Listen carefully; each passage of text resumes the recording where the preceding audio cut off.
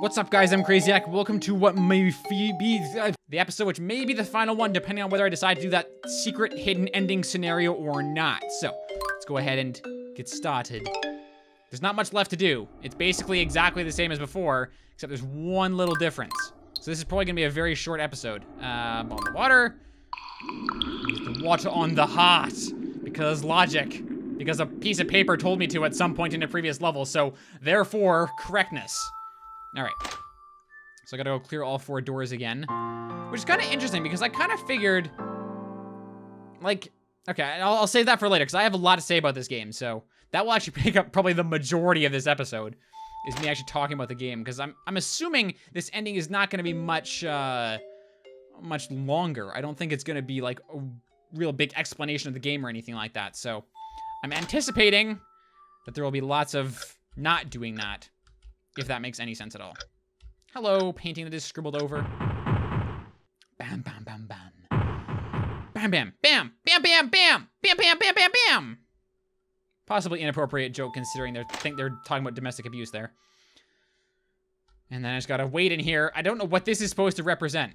I mean, it's a square from like part of the earlier part of the game that was in one of her paintings, but why is it a thing? Why is it just one square? And I have to wait for it to stop. I don't get it. Anyway, so, instead of talking to you, I'm going to give you my brush. Yes. Here, have a brush. On me.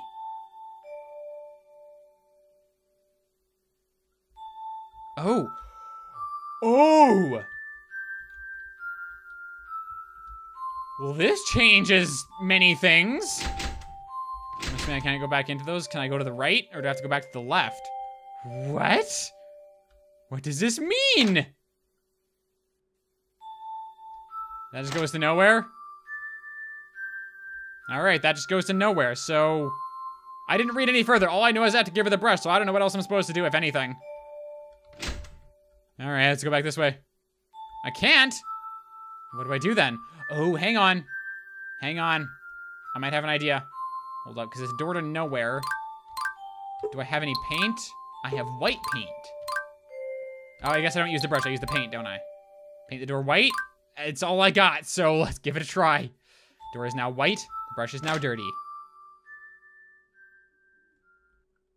Uh, okay. This is like the same style as the door was in the previous ending. Ooh, a rainbow. Can I go in there? I can. I wonder what would have been to the left. I should have kept looking, actually.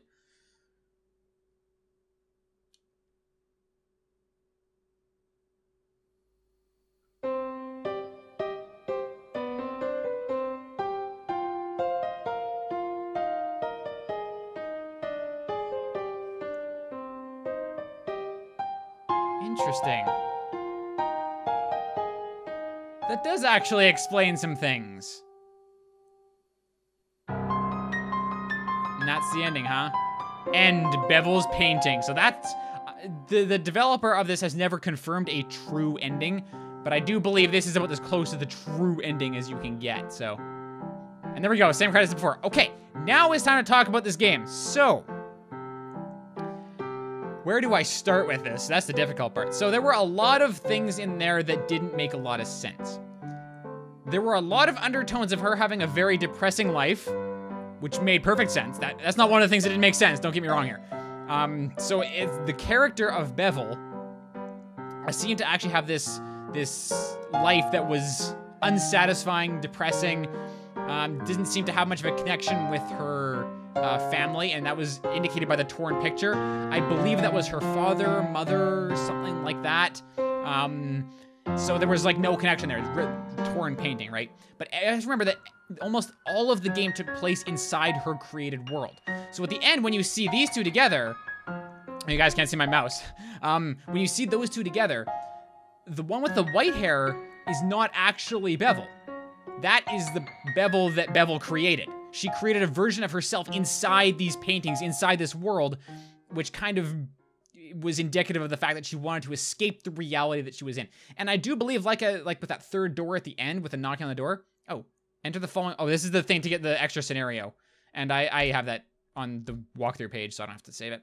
Um, Anyway, I'm just gonna turn that down. So, okay. So, oh crap, where was I? All right, uh, she, she probably lived in an abusive home, um, or at least not in a very nice home. I'm assuming the banging on the door was probably indicative of her father. Um, but this leads me to the problem I have with the whole game. Nothing was explained. There are a lot of pieces scattered everywhere. So there was like the banging on the door. Uh, there was the person playing the piano that disappeared, who I think was maybe her mother, probably played the piano.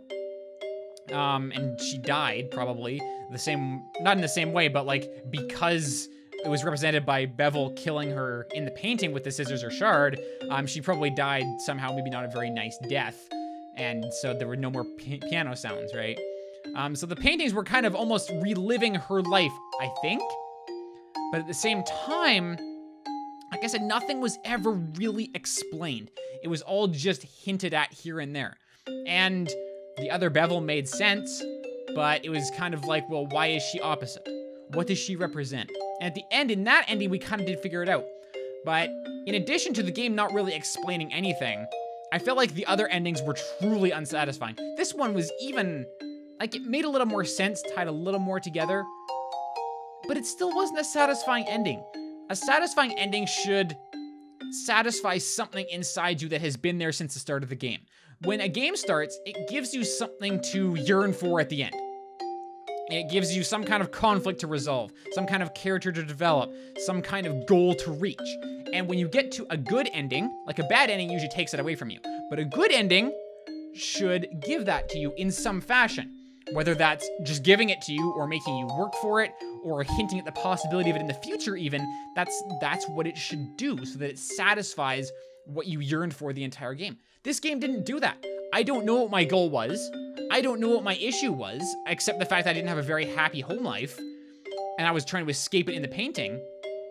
So none of that stuff at the end actually meant anything, with the exception of maybe giving the brush back to myself, giving the power back to the original character, or the original, the person that created this world. It's the only connection it had, so the ending was still really unsatisfying, and that was not a fun thing. But anyway, the game itself played pretty well. I'd say it was way too ridiculously hard to get that ending. Like it took me an hour and six minutes to get to get set up for that ending. That was in the previous episode, and this one was just a couple minutes. But I just, it was a lot of work that they didn't make a lot of sense. Um, like just randomly finding lipstick and putting on a canvas. Doesn't make any goddamn sense. So there was no hint for that. There were a couple hints that were good. Like there was that one hint of the burning the door and there was a hint of putting the water on the heart. Those were good. Those were really good. They were kind of hidden-ish. Um, you had to actually look for them, and you had to read notes and stuff to get them, and that's fine. But the other stuff just wasn't even hinted at, so I needed a walkthrough to do this. I don't think I could have done it without one. But anyway, if you guys want to try the game for yourself, there are uh, a lot more endings. I think there's about 12. And I might touch the ending scenario if you guys want me to. Let me know if you want me to touch that other scenario with the, that code that came up there. Um, but I think I've given all the thoughts I can on this game. To sum it up, I thought there wasn't a lot of connection between the real life of Bevel and the painting. There wasn't any goal or anything to develop, and the endings were unsatisfying as a result. Still, I enjoyed playing it. It was a neat experience. So there you go. So like I said, if you guys want to see that other scenario, just let me know in the comments down below. But other than that, that's all I got. So thank you so much for watching. Until next time, guys, I'll see you later. Old, I'm like 24. I'm gonna be going on 30 in like a couple of years here. Let's not. Let's not make it seem like we're old men. Thanks, man. Bother me. Hey, it's the, the creator's logo. But I cannot get into the thing, so... I cannot land in the thing! There's a joke that no